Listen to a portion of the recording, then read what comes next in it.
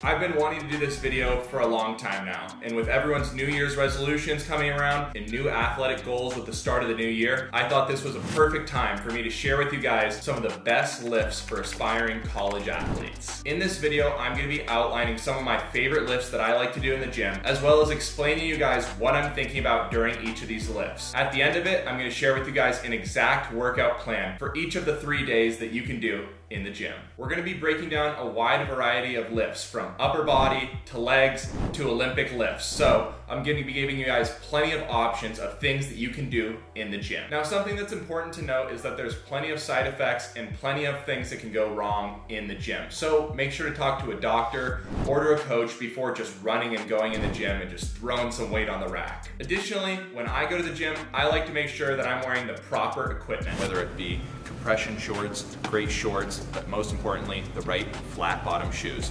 Now I currently have on some Converse, but I typically don't like to lift in those as they're a little bit loose in the ankles, so I really like to prefer the Nike Metcons you guys can go with whatever you want though. Flat bottom shoes. All right, now that you guys know a little bit more about what exactly to wear to the gym, I wanna talk to you guys a little bit more about proper stretching and proper warm up. So before all of my lifts, I like to hit a dynamic warm up. If you guys haven't seen my dynamic warm up already, make sure to go check me out on TikTok or check out my YouTube short. A dynamic warm up really combines stretching and getting your heart rate up, whether it be jumping jacks, push ups, squats, moving your arms around, getting your legs engaged, anything to kind of get your heart rate up and get a little bit of sweat sweat going before you get into the lift. After I hit my dynamic warm up, I like to hit five to 10 minutes on either the bike or the treadmill. This allows me, again, just to get my heart rate up a little bit more and really prime my body before the lift. And after that, I'm ready to lift. So without further ado, let's get into everyone's favorite day, upper body. So for all of my upper body lifts, I like to focus on the three main groups, my biceps, triceps, and my pectorals or my chest. Now sadly, there's gonna be no curls in this workout today. As the saying goes, curls get the girls. However, I don't think there's a whole lot of value that curls would provide in an upper body workout like this, as curls really contract your muscles and we wanna be elongating and stretching our muscles in order to build better muscle retention. Additionally, curls just kind of make you really stiff and aren't really great for dynamic ability. You can't really move around and stuff if you're building your muscle like this, so not really the best lifts for aspiring athletes. So instead, we'll be focusing on three lifts, dumbbell bench press, lat pull down, and dumbbell chest flies. First up, we have dumbbell bench press. I personally prefer dumbbell bench press as opposed to traditional bench press, as it really makes sure that you're focusing on the mobility in your shoulders, as well as balancing the two dumbbells. When I do dumbbell bench press, I typically don't like to have my arms out at 90 degrees. Rather, I have them at 45 degree angles. This really makes sure that I'm not isolating my shoulders in the lift and just focusing on them, but I'm also engaging my lats when doing them at 45 degrees. This specifically helps me as I've had tons of shoulder injuries over my career, so it's super imperative to make sure that you're very cognitive about where your arms are in this dumbbell bench press movement. Additionally, another take that you can do on this exercise is alternating dumbbell bench press, where you're alternating one arm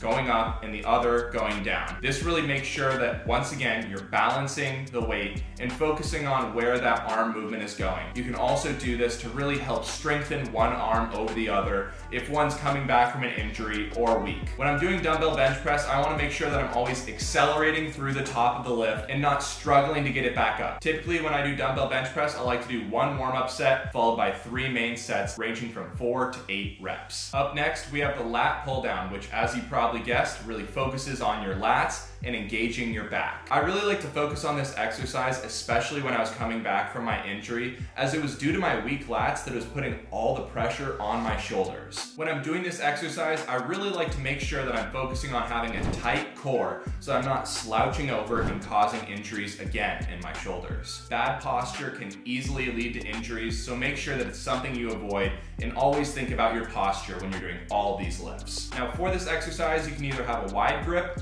or a narrow grip. However, I like to do something a little bit in between. When you're doing this exercise, you wanna make sure that you're moving slowly and feeling all of your muscles be engaged. Focusing on slowly contracting the muscles as well as the slow release on the way back up, make sure that you don't get injured and getting the most out of the exercise. When I do lat pull down, I'll do one warm-up set and then a following with three main sets ranging from 8 to 12 reps per set. Last on the upper body routine, we have dumbbell chest flies, and I can guarantee you these are nobody's favorite. However, this exercise is super important as it focuses on your biceps and triceps, maintaining and controlling the weight while exercising and stretching your chest. When starting out in this exercise, you wanna make sure to use a really light weight. Even after years of rehabbing my shoulder, I'm just now getting back to 25 pound dumbbells and it's very, very hard. You can do this exercise with your elbows bent or with your arms fully extended outwards. Something you wanna focus on during this exercise is really controlling the weight on the way down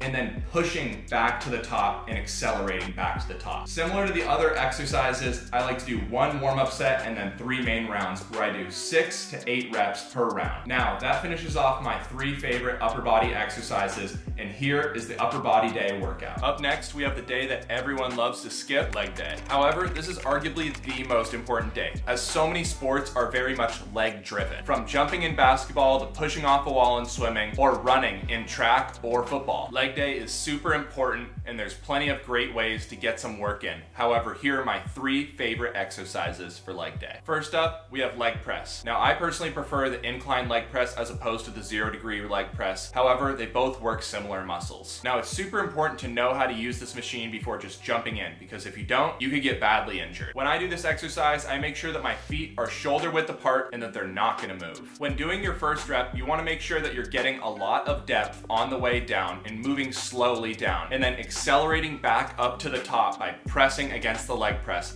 but not fully extending your legs and locking out your knees, as that will cause a lot of pain and injury in your knees in the long run. Depth is really what we're going for here, and that is what's going to be building the muscle. So make sure to choose an appropriate weight that you can get a lot of depth even if you have bad knees like myself. When I do this exercise, I do one warm-up set where I'm really just focusing on depth and then followed by three main rounds doing six to eight reps per round. Next up, we have quad extensions. For this exercise, you're gonna be focusing on a weighted extension of your legs in order to build muscles in your quads, most specifically the front side of your quads. It's important when doing this lift to go slow on the way up as well as on the way down, and you're not just throwing the machine up and down, as you're not gonna be getting a bunch out of that, and the muscle really builds when you're moving slowly and slowly contracting these muscles back and forth. It's a super simple exercise if you just follow the instructions on the machine. And as like I said before, I do one warm-up set, three main sets. And on this exercise, I like to do six to 12 reps per set. Now on the quad extensions earlier, we really focused on the front side of your quads, whereas on these cart curls slash towel curls, you're really gonna be focusing on the back side of your quads. This exercise can be done with a towel on a smooth floor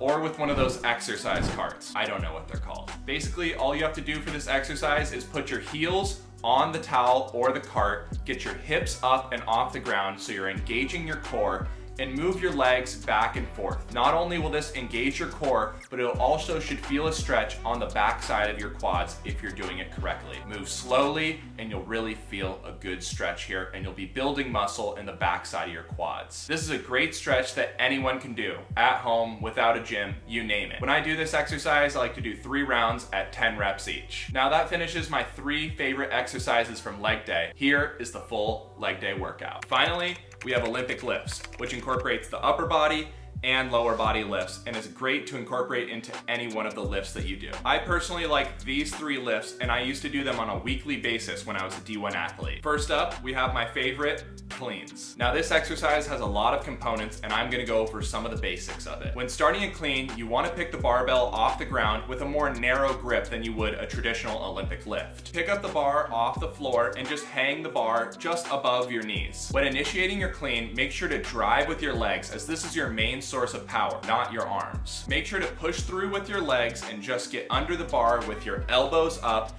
catching it in kind of a half squat. Now you can catch the bar a bit lower in a full squat if you want, but I like to do it a little bit higher given my size and then fully extend up and through to finish off the exercise. When I do cleans, I do one warm-up set with just the bar, really focusing on getting some depth and warming up my knees, and then I go into three main sets ranging from three to six reps per set. Our next exercise is squats, and I'm gonna demonstrate both front and back squats, as I believe they both have very similar components. First off, for both of these exercises, you're gonna wanna make sure that your feet are shoulder width apart and you're maintaining a strong core. For back squats, I like to place my arms a little bit farther apart on the bar and make sure that my fingers wrap around side rings on the bar. When I'm going down in the back squat, I'm focusing on my breathing and on my core. Upon getting down to my proper depth, I then proceed to accelerate up back to the top as if I'm pushing off a wall like in swimming. When doing a front squat, you're gonna wanna keep your hands more inward like you would in a clean and keep your elbows up, similar to how you catch the clean. Then similar to a back squat, you're gonna wanna slowly go down, get the proper depth,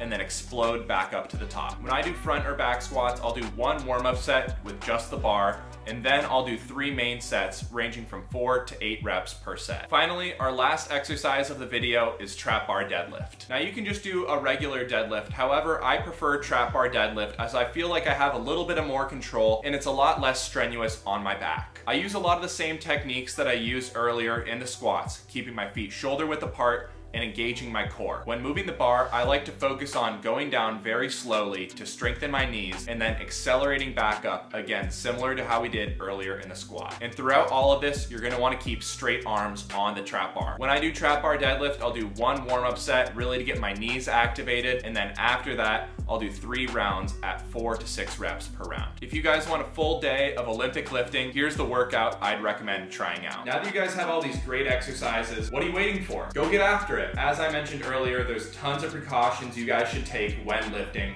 make sure you're wearing the right equipment, and always go talk to a doctor or coach before going and starting lifting. If you guys like this type of video, make sure to like the video and comment which lift you guys are most excited to try out. Make sure to subscribe to the channel as I'm gonna have the best dryland and ab exercises coming very soon to the channel, and you're not gonna wanna miss it. With that said, best of luck to everyone in their lifts, and I'll see you guys next time.